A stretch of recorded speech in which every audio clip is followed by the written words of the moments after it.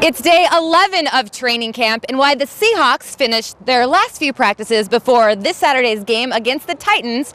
We'll check in with the fans, find out how the TO show is going, and the anticipation around the return of our beloved Hasselbeck. But in the meantime, there's another exciting event that's happening tonight that involves these beautiful ladies. So, Tamaraya, tell me what's going on tonight. All right, so tonight is our calendar unveiling for the 2013 calendar. It has all 34 Sea Gals, and what's really exciting is we don't even get to see our photo until right before we go out on the runway, which is exciting. It's also a 34 swimsuit calendar, so all 34 of us are wearing swimsuits, so it's non-traditional. I mean, normally we're in our uniforms, and we also are, are presenting and dancing in our new uniforms, which we just got this year. So not only did the Seahawks get new uniforms, we did as well. Luckily, they're not dancing in their bathing suits because that, although calendar sales would probably jump, that'd be a little, I don't know. Um, and so, Jackie, tell me, is this is your second year? My right? first year. Oh my gosh, rookie. Yes, okay, so.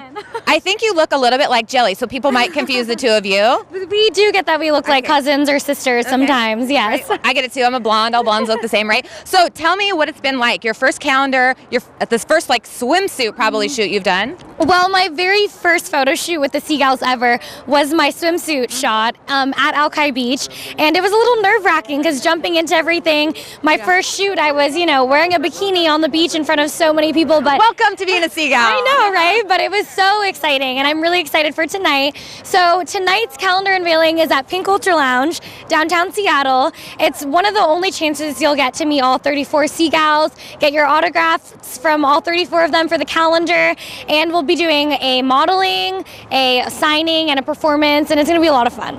It sounds like a hot event. And I, so tell your friends, Mm-hmm. tell your girlfriends, come have a cocktail, meet these beautiful ladies. Oh, also, um, one special thing also is Pete Carroll's niece is the designer of our swimsuits, and the cocktail of the night is called Sea Gal on the Beach for five dollars. So come enjoy a Sea Gal on the beach because you don't always get to get one of those. And the only time you can get a Sea Gal on the beach for $5 tonight.